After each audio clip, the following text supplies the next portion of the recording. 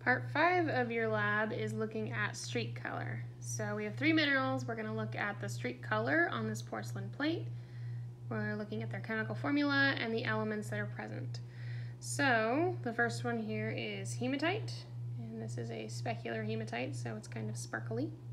So we're gonna streak it across this plate and look at the mineral in powder form, which is what streak is.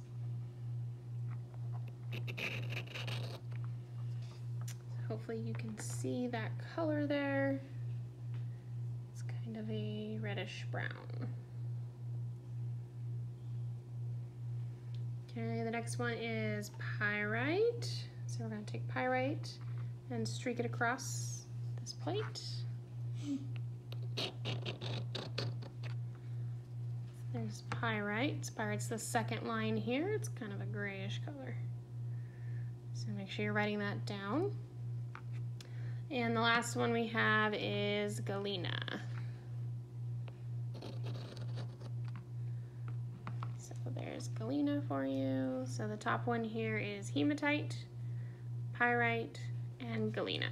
So go ahead and record that and you can move on to the next section.